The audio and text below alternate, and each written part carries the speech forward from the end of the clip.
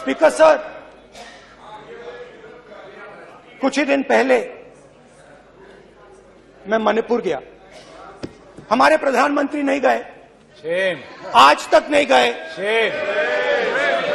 Shame. क्योंकि उनके लिए मणिपुर हिंदुस्तान नहीं है Shame. Shame. Shame. मैंने मैंने मैंने मणिपुर शब्द प्रयोग किया मगर आज की सच्चाई यह है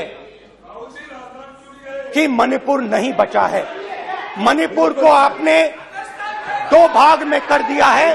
मणिपुर को को आपने बांट दिया है, तोड़ दिया है। मैं मणिपुर मणिपुर में रिलीफ कैंप्स में गया। रिलीफ कैंप में आज जा रहा हूँ। आज जा रहा हूँ। मणिपुर मणिपुर में रिलीफ कैंप में मैंने महिलाओं से बात की ठीक है सर